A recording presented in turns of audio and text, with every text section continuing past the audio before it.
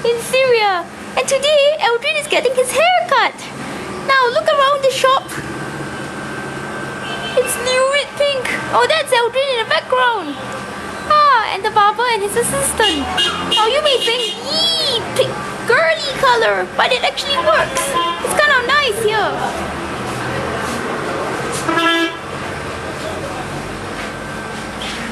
Now let's go look meet up with Aldrin. There he is.